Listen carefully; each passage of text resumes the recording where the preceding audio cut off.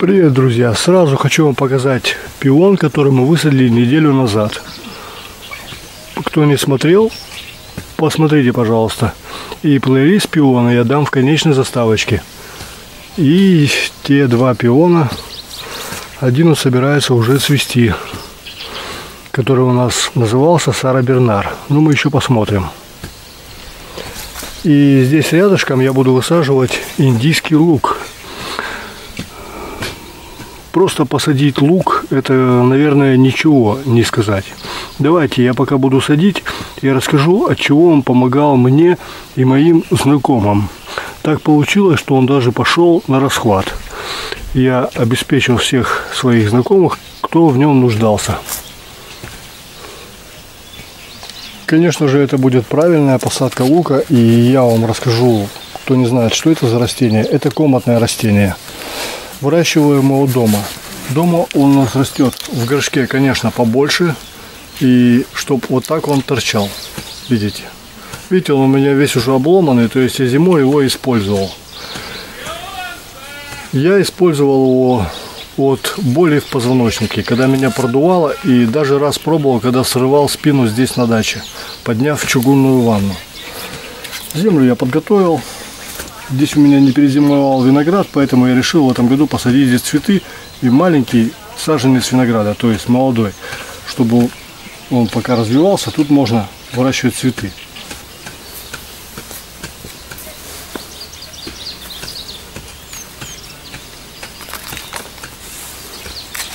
Большую луковицу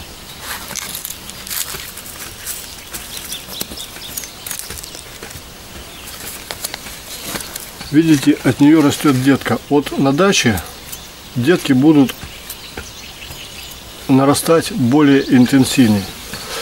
Можно это дело обрезать, можно дело обрезать, но оно мне пока не нужно, я обрезать не буду. А вообще, как бы лучше обрезать, зелень нарастет новая.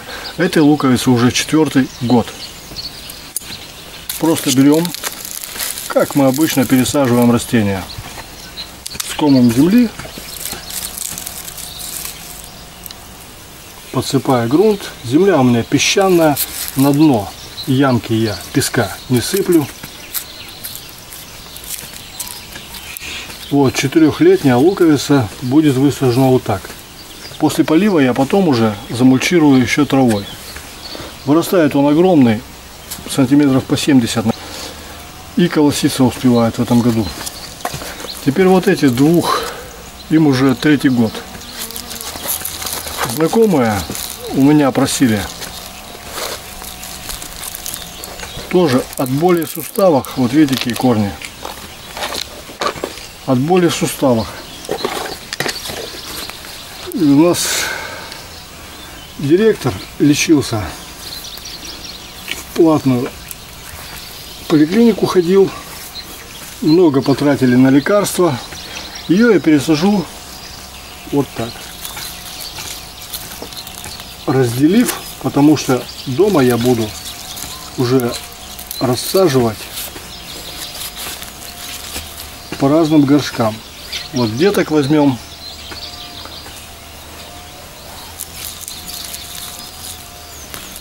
В общем, человека продуло.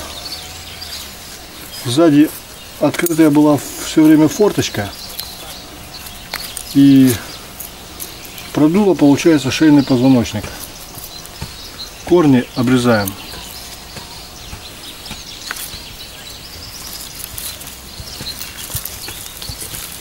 От чего болели суставы?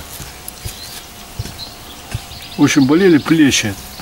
Так что он не мог даже, он в коттедже живет, ни дров напилить и ничего подобного сделать по дому. Ни провести какие-то, да вообще никаких работ он не мог делать. Я ему принес луковицу, уже взрослую, вот почти такую, чуть-чуть поменьше. Не знаю, может он боялся, может он, в общем, мы к нему приезжали, помогали ему по ремонту. Так, у детки мы тоже обрезаем. Вот так. Зелени оставляем немного, чтобы было от солнца питание луковицы. И однажды приехали, смотрим, листья оторваны, и видно, что их использовали. После чего он за столом уже на обеде прямо так, ну, как бы сказать, поблагодарил и сказал, что ему помогло. Действительно, говорит, работает. Второй человек, им обоим уже за 60 лет. У него болели, как правильно сказать, ну, колени, в общем. Тоже мотался по больницам, и в итоге ничего путнего с этого не вышло. Я ему привез листвы, потом я ему луковицу дал. Она у него уже растет. Привез листвы и он намазал. То есть намазываем больное место. Позвоночник, сустав перед сном. Укрываемся, укутываемся, утром просыпаемся. Я вам скажу за позвоночник, когда продувает сильно, что даже, знаете, встать невозможно. Утром просыпаешься просто как новенький. Вот такие, в общем, дела. И вот эти луковицы у меня помоложе. Я их вот так раз, раз, аккуратненько посажу вот сюда. Получится небольшая такая луковая плантация. Но эти вот молодые луковицы я закапываю.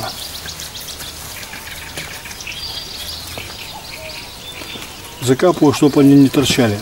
Вот эти, когда приживутся, двух-трехлетки, я у них верхушечку маленько оголю. Кстати, мы так делаем с репчатым луком, чтобы луковица больше нарастала. Здесь я повтыкаю потом палочек, потому как мы здесь проходим нередко.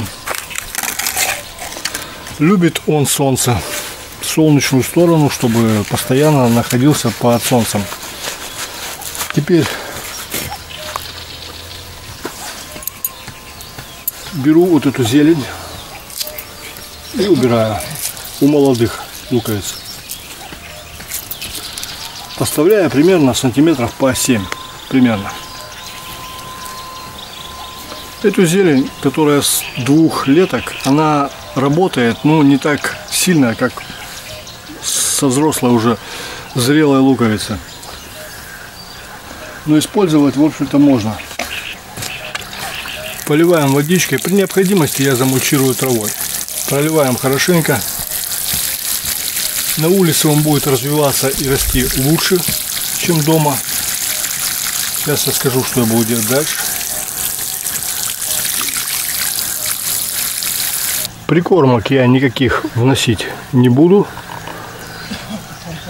Он будет расти отлично, может быть потому, что у нас земля на вид песчаная, но она хорошая.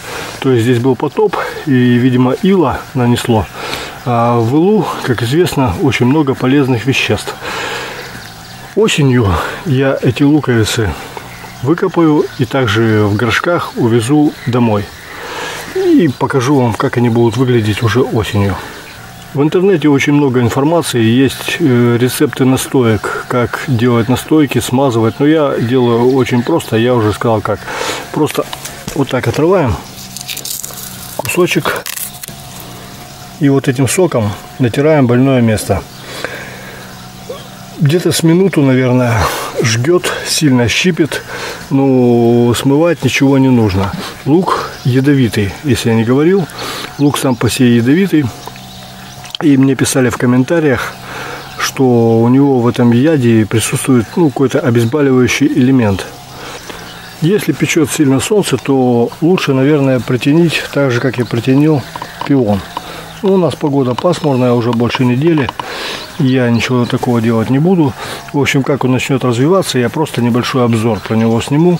Если есть вопросы, пишите в комментариях. Я дам ссылочки на мои ролики, э, где я его применял на позвоночнике, то есть.